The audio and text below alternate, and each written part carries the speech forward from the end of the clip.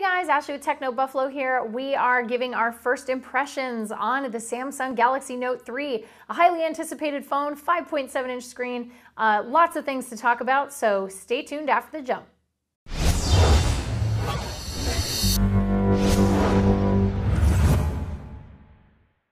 All right, everybody, here it is, the Galaxy Note 3. We've been talking about it, we've unboxed it, and now we get to do a hands-on. So let's talk a little bit about this device. Uh, the one thing that I will say as a non-note user is that I'm gonna grab the pen here. I really like that it's universal. I like that you can put the pen back in the phone either way.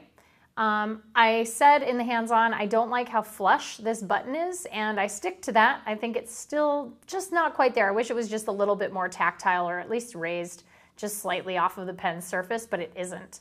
Um, getting into Air Command, I think that there's some really great features attached to the S Pen. I definitely like Action Memo and having that sort of contextual ability to go to a website or call a phone number from your notes, your handwritten notes, is really, really cool.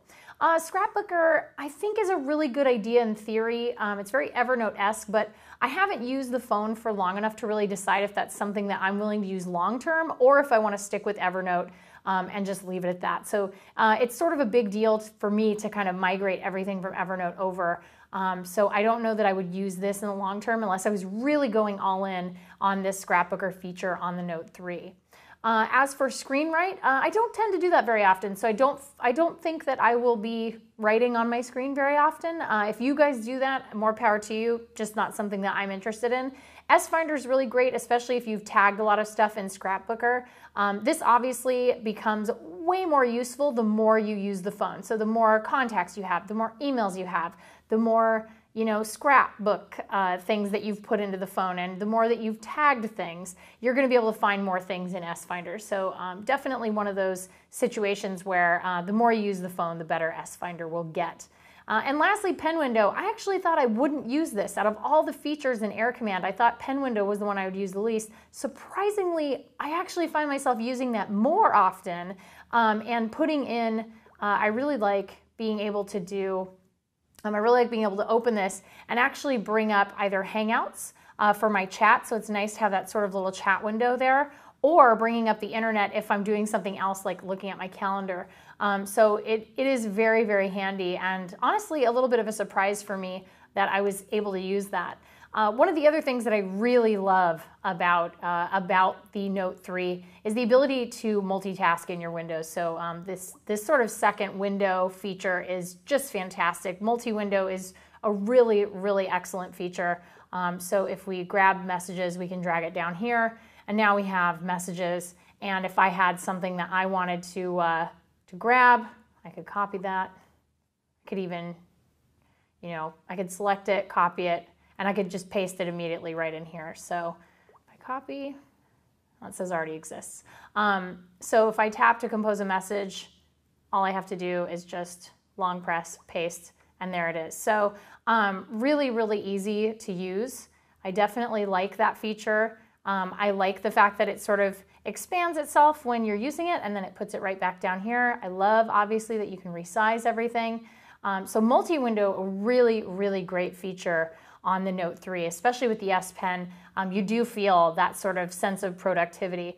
Uh, one of the things that obviously we've covered a lot of things in just a couple of minutes, um, it's really overwhelming. If you've never used a Note before, uh, having access to all these features can be very overwhelming. And uh, Brandon and I here at the office were joking around that you almost feel like you need a semester long class to understand every single feature that you could possibly find on this phone. And that's not necessarily a bad thing, it's just there is so much going on. You've got Knox if you want to protect uh, if you want to have a secondary, either enterprise or personal account that you want a little more protected, you can use Knox. You have S Health, you've got Pen Up, you've got S Translator, you've got Samsung Apps, a Samsung Hub, Scrapbook, Story Album. I mean, there are so many things. So if you have not lived in the Samsung ecosystem before, this can all be very overwhelming for somebody.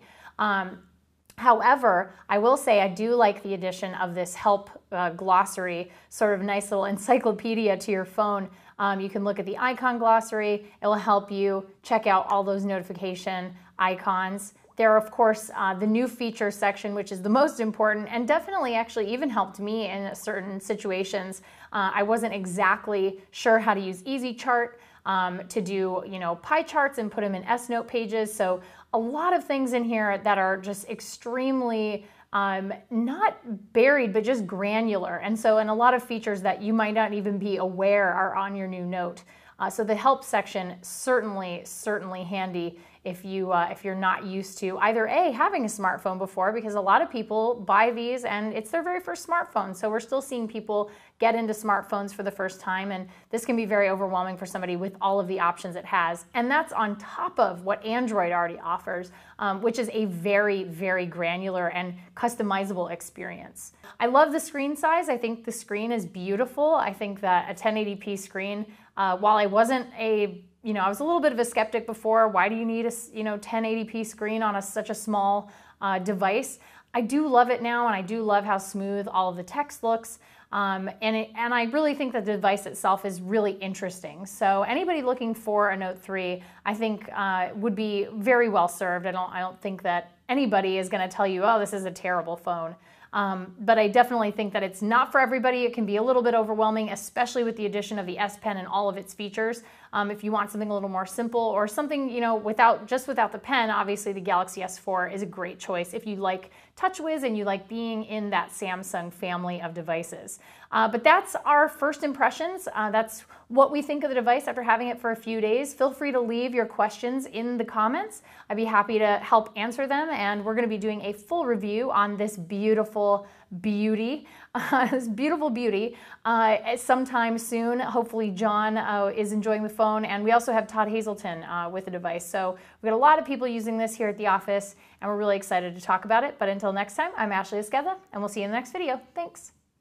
What's up everyone, John here. Thank you for watching the video. If you enjoyed it, I certainly hope you did. Click on the subscribe button right under me in my pants region to get tons more tech videos from Techno Buffalo. We've got awesome unboxings, comparisons, reviews, recaps, and everything else you can think of in the tech world right here on the channel. Join the herd today! If you want to check out some more content, just click right over this way to see some other recent videos. See you guys next time.